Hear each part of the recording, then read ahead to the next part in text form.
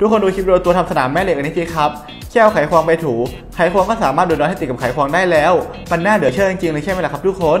เดี๋ยวผมจะไปสั่งมารีวิวให้ทุกคนดูนะครับ ว่ามันใช้ได้จริงแบบเดียวโฆษณาไหม ได้ของมาแล้วนะครับแกะซองออกมาก็จะมีตัวทำสนามแม่เหล็กสีเขียวน้ำทะเล ขนาดประมาณ 3 นิ้ว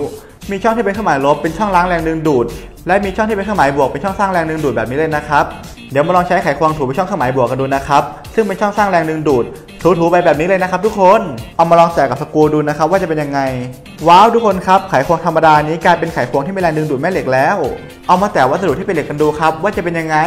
เช่นชิปหนีบกระดาษ ตัวหนีบกระดาษ ลูกแม็กหรืออุปกรณ์ทุกอย่างที่เป็นเหล็ก ก็สามารถดึงดูดได้ทุกอย่างเลยนะครับ แบบนี้การขันน็อตหรือสกรูก็ไม่ต้องกลัวว่าจะหลุดหรือกระเด็นหายแล้วนะครับ เพราะเมื่อขันออกมาน็อตหรือสกรูก็จะติดออกมาแบบนี้เลยนะครับ แค่นี้ไขควงของเราก็ไม่มีแรงดึงดูดแม่เหล็กแล้ว สรุปแล้วตัวสร้างสนามแม่เหล็กใช้งานได้จริง แค่เอาไขควงไปถูที่ประจุบวก ก็สามารถสร้างแรงดึงดูดได้แล้ว และเมื่อจะเอาแรงดึงดูดออก ก็ไขควงไปถูที่ประจุลบ และแรงดึงดูดของเราก็จะหายไปเลยนะครับ สุดยอดมากเลยครับทุกคน